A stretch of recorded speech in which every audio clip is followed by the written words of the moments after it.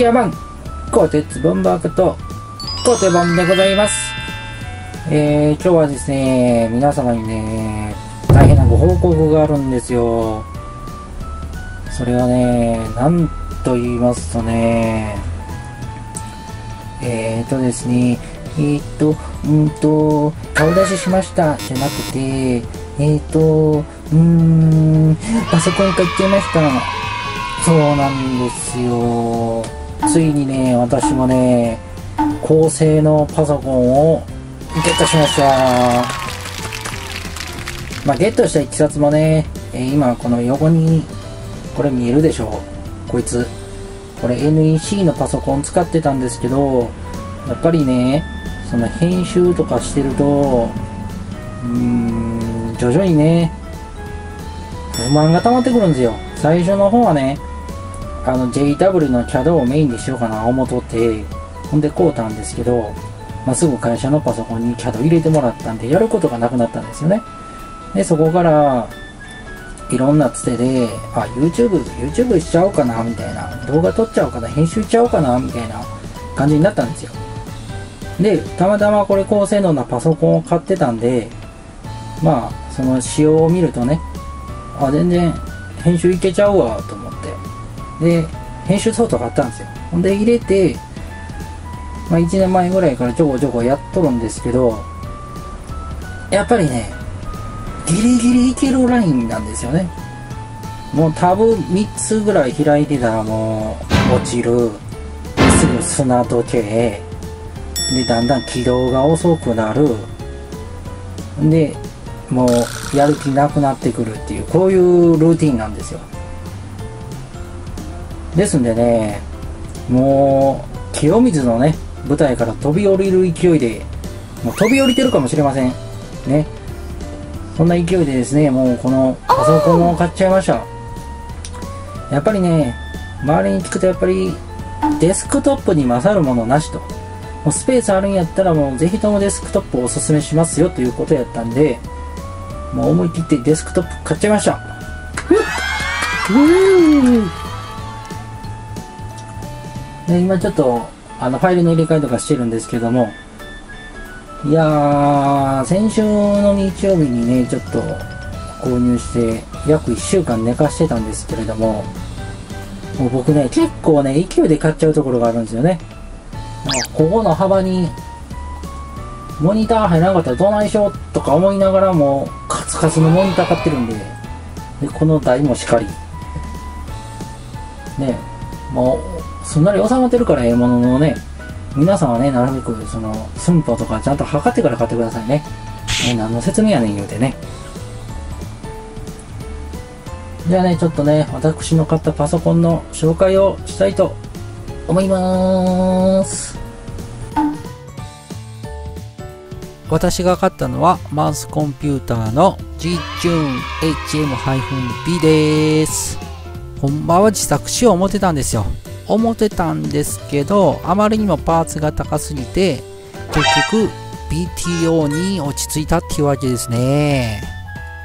前面にはマイク端子、ヘッドホン端子、USB3.0 の端子が2つ、HDMI に光学ドライブがあります。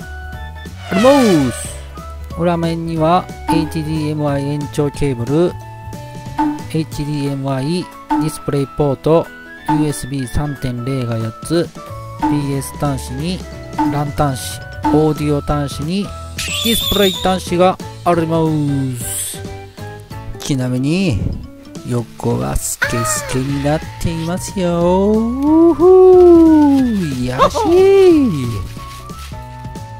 で、何気に重さは10.5キロぐらいありますね。まあまあ重たいでございます。ちなみにスペックは詳しく書くとこんな感じになります。私はこれにハードディスクの2テラを追加しております。とにかく大きい容量が欲しかったんですよ。溜まっていくんでね。それに合わせて、飯山さんのディスプレイも購入いたしました。G マスターいうやつで27インチでゲーミングモニターって呼ばれてますね。液晶は TNLED です。リフレッシュレートも 144Hz ありそれに対する応答速度も数字が小さいと思いますのでゲームをする場合にもかなりぬるぬる動くと思います。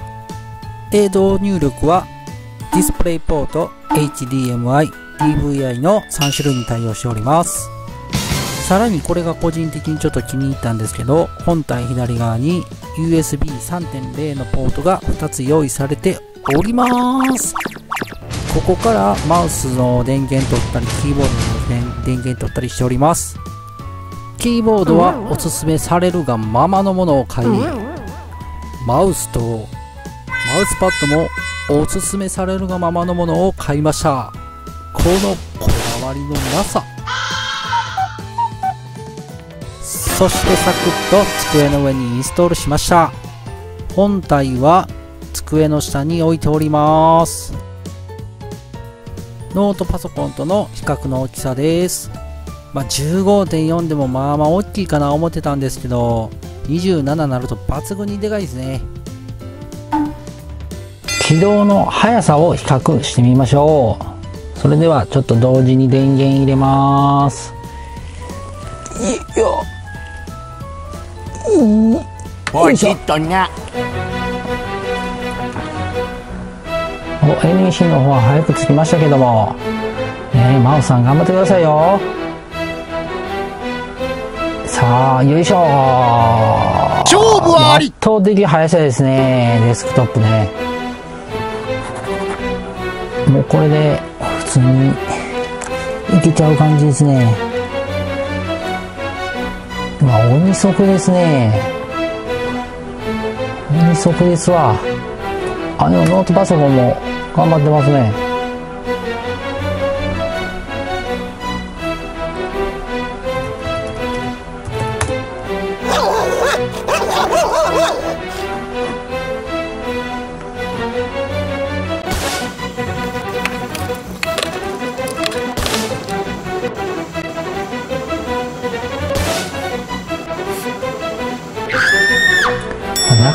ソフトが立ち上がりませんね。